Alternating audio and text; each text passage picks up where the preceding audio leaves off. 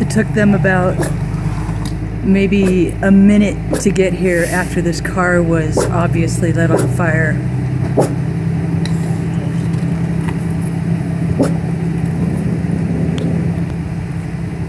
These guys rock.